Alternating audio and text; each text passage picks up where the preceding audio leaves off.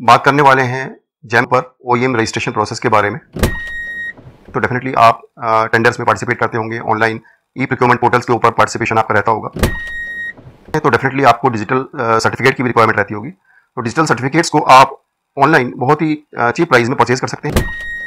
आप जब ई प्रिक्योरमेंट के ऊपर या और भी बहुत सारे इस तरह के पोर्टल्स के ऊपर आप वर्क करते हैं तो वहाँ पर आपको बहुत सारी प्रॉब्लम्स फेस करनी पड़ती हैं।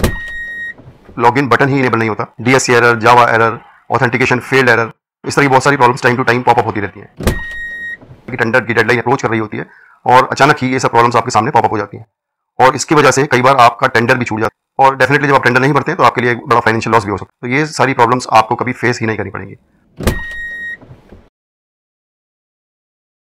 वेलकम बैक काफ़ी टाइम से आप लोगों के साथ इंटरेक्शन होता चला आ रहा है वीडियोस और कमेंट्स के थ्रू लेकिन पहले कभी ऐसा कोई मौका नहीं लगा कि आपके साथ शेयर किया जाए। कि what actually we do at Advent तो आज आपके साथ शेयर करते हैं so Advent is a 15 years old organisation with extensive industry experience we specialise in consultancy supply installation testing and commissioning of artificial intelligence based advanced IP CCTV systems perimeter intrusion detection and alarm systems including electric fencing and concertina coil fencing and state-of-the-art public address systems.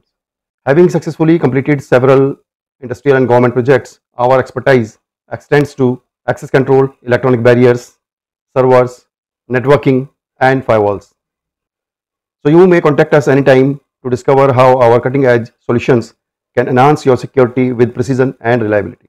So let's build a safer future together.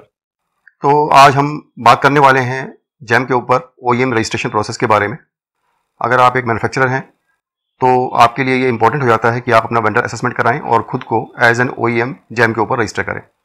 Jam के ऊपर दो तरह से आप काम कर सकते हैं। एक तो रीसेलर जहाँ पर आप किसी और मैन्युफैक्चरर के प्रोडक्ट को रीसेल कर रहे होते हैं, और दूसरा एज एन ओ जहाँ आप खुद मैन्युफैक्चरर हैं और आप खुद अपने प्रोडक्ट को जैम के ऊपर सेल कर रहे होते हैं।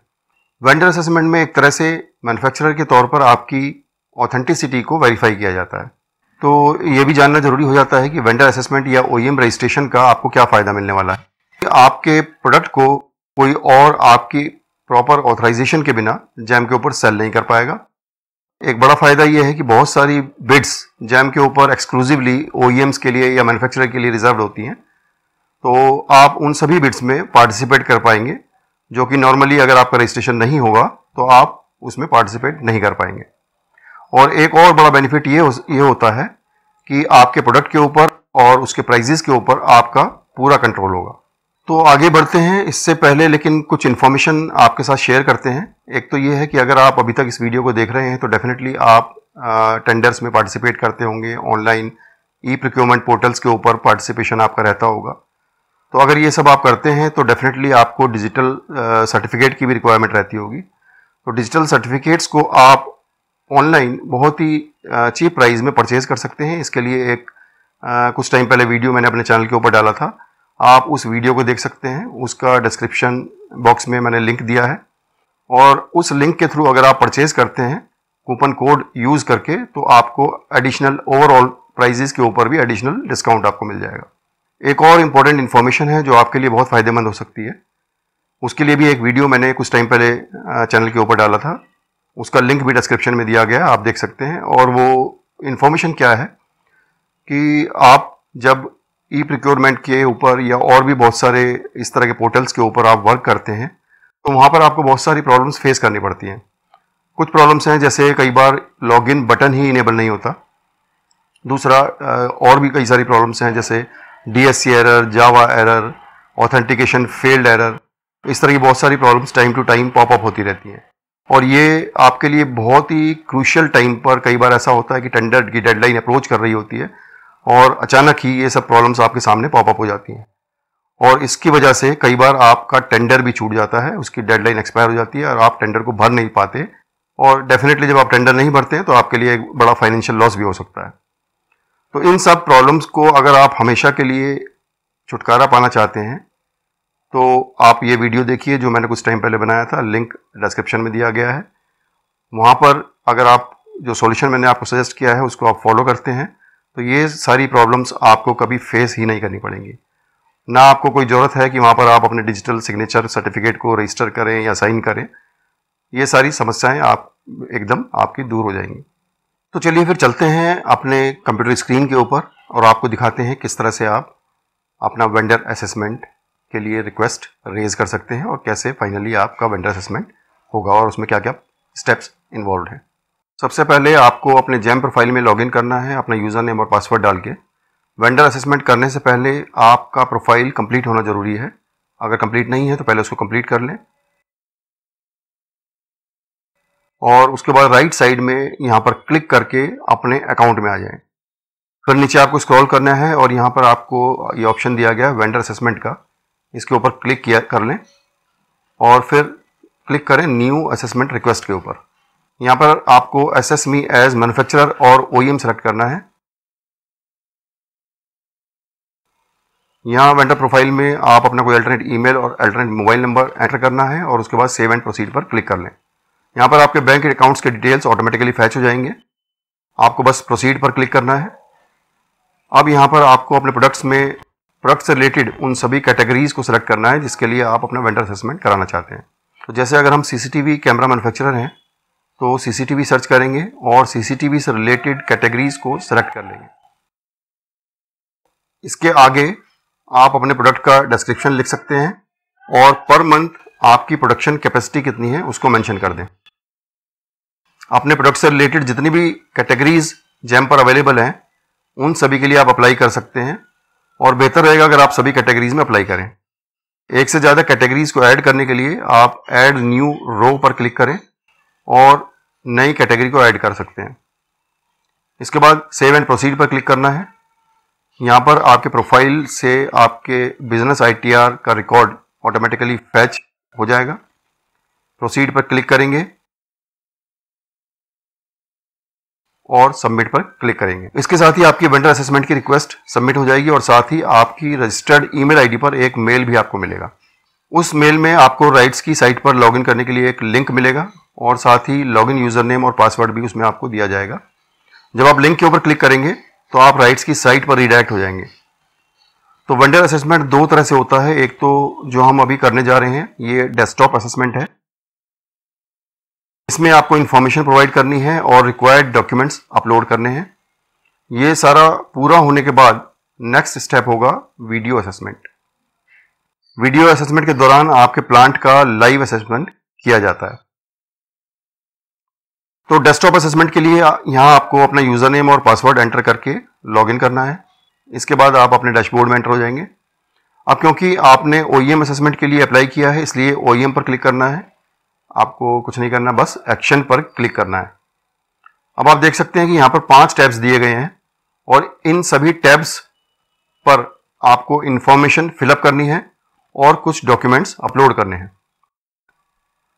इस सबसे पहले इंफॉर्मेशन टैब में आपको ज़्यादा कुछ नहीं करना है, ज़्यादातर डिटेल्स पहले से ही फ़ील्ड मिलेंगे। आपको एक तो यहाँ पर अपना जीएसटी रजिस्ट्रेशन फॉर्म अपलोड करना है और दूसरा स्क्रॉल करके यहाँ नीचे आइए और यहाँ पर अपना एड्रेस प्रूफ आप अपलोड कर देंगे। एड्रेस प्रूफ में आप अपना रेंट एग्रीमेंट या इलेक्ट्रिसिटी बिल या को, कोई और वैलिड डॉक्यूमेंट अपलोड कर सकते हैं। नेक्स्ट टैब है प्रोडक्ट डिटेल्स का। यहाँ पर आपको अपने प्रोडक्ट्स का कैटलॉग अपलोड करना है।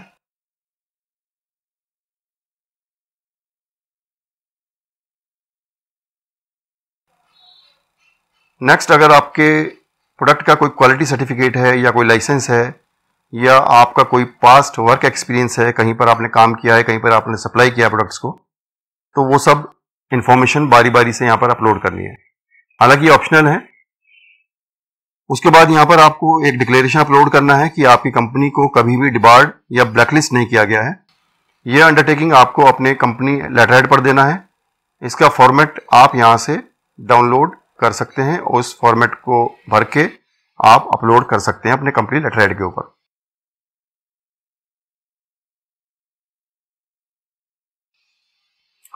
इसके अलावा ये बाकी चीज़ आप देख लीजिए, ये सब सेल्फ एक्सप्लेनेटरी है और ऐसा कोई मैंडेटरी भी नहीं है। तो चलते हैं नेक्स्ट स्टेप पर, जो कि है डिटेल्स ऑफ़ द फर्म अगर आपकी कंपनी एक ही लोकेशन पर मैन्युफैक्चरिंग करती है तो यहाँ पर आपको यस करना है और फिर उसके बाद नीचे एड्रेस मेंशन करना है और साथ ही एड्रेस प्रूफ और जीएसटी डॉक्यूमेंट्स अपलोड करने हैं। कई कंपनीज़ का प्रोडक्शन एक ही लोकेशन पर होता है लेकिन बहुत सी ऐसी कंपनीज़ होती हैं जिनका एक ही लोकेशन पर ना होकर मल्टीपल लोकेशंस पर उनकी मैन्युफैक्चरिंग हो रही होती है। तो अगर आपके साथ भी ऐसा ही है तो आपको यहाँ पर नो सेलेक्ट करना है और ऐसी कितनी लोकेशंस पर आपकी मैन्युफैक्चरिंग हो रही है, वो नंबर यहाँ पर आप मेंशन कर दीजिए। और उसके बाद बारी बारी से सभी लोकेशंस का एड्रेस और जीएसटी यहाँ पर आपको मेंशन करना है। और साथ ही उनके प्रूफ यानी एड्रेस प्रूफ और जीएसटी के डॉक्यूमेंट्स भी अपलोड कर दें।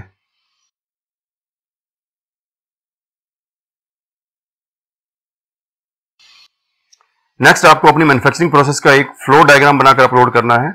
फ्लो डायग्राम का मतलब है एक ऐसा डायग्राम जिसमें रॉ मटेरियल से फाइनल प्रोडक्ट के बनने तक के सभी स्टेप्स को दिखाया जाता है।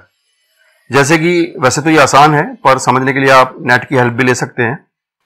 फ्लो चार्ट अपलोड करना मैंडेटरी नहीं है, लेकिन अगर बना सकते हैं तो बनाकर अपलोड कर दें तो अच्छा रहेगा। नेक्स्ट पॉइंट मैंडेटरी है। आपकी मैन्युफैक्चरिंग में आप जो भी मशीन्स यूज़ करते हैं वो सब आपको यहाँ मेंशन करनी है और प्रूफ के तौर पर आप मशीन की परचेज इनवाइस जब आपने मशीन खरीदी होगी तो जो परचेज इनवाइस आपको मिली होगी, वो आप यहाँ पर अपलोड कर सकते हैं। नेक्स्ट पॉइंट मैंडेटरी नहीं है, इसको छोड़ सकते हैं। और नेक्स्ट है list of approved supplier manufacturing के लिए आप जो भी रॉ मटेरियल परचेज करते हैं, उसके सप्लायर की लिस्ट उसका एड्रेस उसका कॉन्टैक्ट डिटेल्स ये सब आपको अपलोड करने हैं। लिस्ट में कितनी क्वांटिटी आप परचेज करते हैं, ये भी मेंशन करना है। और साथ ही आपके मैन्युफैक्चरर की, आपके सप्लायर की कंट्री ऑफ़ ओरिजिन क्या है, ये भी आपको मेंशन करना है। यानी आपका सप्लायर किस कंट्री से है, ये भी आपको मेंशन करना है। साथ ही परचेज के कुछ इन्वाइस भी अपलोड कर दें। ये सब आप एक टेबुलर फॉर्म में भर के उसको अपलोड कर सकते हैं। नेक्स्ट पॉइंट में ये जो भी सेफ्टी मेजर्स आप अपने प्लांट में आपने इंप्लीमेंट किया हुआ है, या जो भी सेफ्टी सेफ्टी मेजर्स मेजर्स आप अपने प्लांट में यूज़ करते हैं, वो सब आपको मेंशन करने जैसे कि आपके प्लांट में फायर फाइटिंग का क्या प्रोविज़न है, या वर्कर्स हेलमेट या सेफ्टी शूज़ यूज़ करते हैं या नहीं करते हैं, या सेफ्टी से रिलेटेड और भी जो जो प्रोविजंस हैं, या रूल्स हैं, या पॉलिसीज़ हैं जो आप फॉलो करते हैं, वो सब आपको यहाँ पर डिटेल्स भर के अपलोड करना है। नेक्स्ट टैब है डिटेल्स ऑफ़ ओनरशिप इसमें ज़्यादा कुछ नहीं है सेल्फ एक्सप्लेनेटरी है। फॉर्मेट्स इसमें दिए गए यहाँ पर आप डाउनलोड करके उनको फिल कर सकते हैं और बाद में अपलोड कर दें। नेक्स्ट टैब है डॉक्यूमेंट्स यहाँ ओनर की नेशनलिटी को प्रूव करने के लिए डॉक्यूमेंट अपलोड करने हैं। इसके लिए आधार कार्ड या पासपोर्ट की कॉपी अपलोड की जा सकती है। तो जैसे ही आप ये सब फिनिश करते हैं तो उसके बाद आपको फ़ीस पे करनी है और फ़ीस पे करने के बाद आपकी एप्लीकेशन रिव्यू के लिए सबमिट हो जाती है। यहाँ पर आप ये कुछ लीजेंड देख रहे होंगे। रिव्यू के दौरान आपके डॉक्यूमेंट्स में जो आपने डॉक्यूमेंट्स अपलोड किए हैं, अगर कोई शॉर्टकमिंग पाई जाती है तो असेसमेंट ऑफिसर इन लीजेंड्स को यूज़ करके आपको कम्युनिकेट करता है। अगर किसी डॉक्यूमेंट में कोई इशू होगा तो वो सभी येलो मार्क्स से आपको दिखाई देंगे। आपको उनका रिप्लाई देना होगा और आपके रिप्लाई देने के बाद वो सारे सेक्शन रेड में आपको दिखाई देने शुरू हो जाएँगे। तो अगर आपका रिप्लाई सेटिस्फैक्ट्री पाया जाता है तो ये सभी सेक्शंस जो अभी रेड में दिखाई दे रहे हैं वो सब ग्रीन में आपको दिखाई देने लगेंगे। मींस जो आपका एनसी है वो क्लोज हो, हो गया है। और एनसी क्लोज होने के बाद आपका वीडियो असेसमेंट के लिए स्लॉट अलॉट कर दिया जाएगा। और असेसमेंट के बाद आपको अपना असेसमेंट रिपोर्ट भी तीन से चार दिन में नॉर्मली मिल जाती है। होप ये वीडियो आपको पसंद आया होगा, आपके लिए हेल्पफुल रहा होगा। अगर कोई इशू लगता है तो कमेंट ज़रूर कीजिएगा। लाइक ज़रूर करिए शेयर ज़रूर करिए और साथ ही साथ चैनल को सब्सक्राइब करना मत भूलिएगा। मिलते हैं नेक्स्ट वीडियो में। तब तक के लिए गुड बाय